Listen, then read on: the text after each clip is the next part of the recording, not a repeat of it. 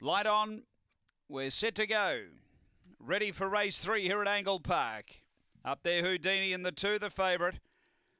On their way up there, Houdini stepped cleanly, bombing the start totally was Toby West. They go to the back and up there, Houdini. Oh, skips right away here out by five. Over breaking stride, Rosie's Angel. Toby West running on and then Molly Holly. But up front, it's up there, Houdini clear. Toby West has run a race into second. Straightening up though, it's up there, Houdini clear of Toby West, rattling home. Uh, but up there, Houdini beats Toby West, who's going to win one soon on that. Uh, behind those, Rosie's Angel, Breaking Stride, and Molly Holly. Uh, the time here is around 23 seconds. Race number three. And uh, up there, Houdini, number two, has uh, got the prize for Clint Trengove.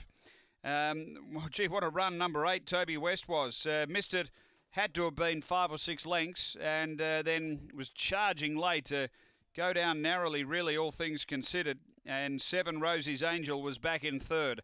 Up there, Houdini for Clint Trengove, number two, the winner.